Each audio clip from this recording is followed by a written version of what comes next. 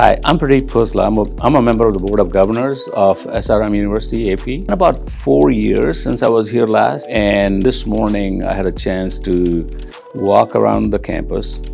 It is a beautiful infrastructure that has been developing in a very short time. Uh, I don't know many places that have developed such beautiful infrastructure in such a short time, five years since inception.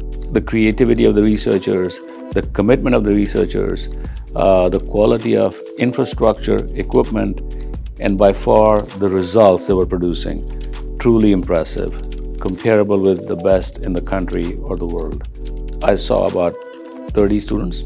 Uh, they were part of this lab where they were developing different technologies uh, winning prizes in hackathons all over the world. Truly impressive. For a five-year-old institution to recruit that quality of a student, give them the freedom, and then let them develop in ways that they want to develop is unheard of even in the best places in the US and the world. Hi, I'm Nick Dirks, and I'm a member of the Board of Governors of SRMAP.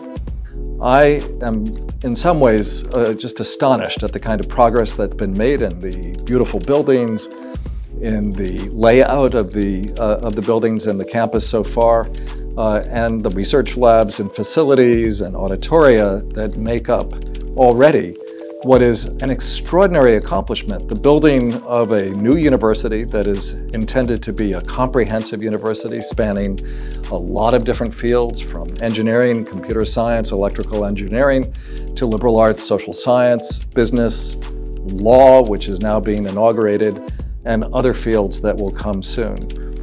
Talking to both the faculty and the students, I'm really incredibly impressed by their commitment, their dedication, their excitement, and their sense of being part of a, of a new experiment to build a brand new university here in uh, Amaravati, uh, Andhra Pradesh, embracing uh, all the ideas of a new India, uh, where one is fashioning a university to be a terrific asset uh, for the development of new ideas, of new industries, of new products, of new science and, uh, and engineering to, uh, to, to make sure that India is a place that has uh, the very best talent, but trained in the most advanced ways to make a, a large contribution, not only to the region, the nation, but also to the world. My name is uh, Prasant Mohapatra. I'm a member of the Board of Governors of uh,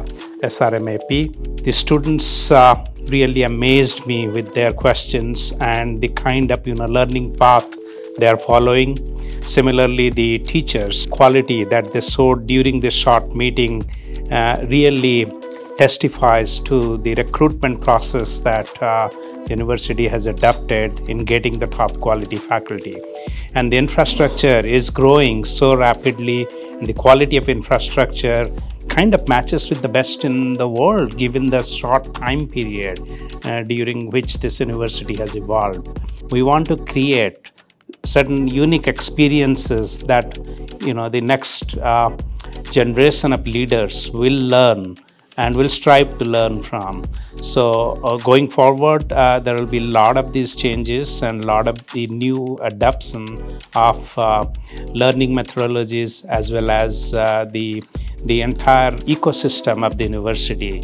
And we, we are very hopeful that this will emerge as one of the top universities of India as well as one of the top ones in the world.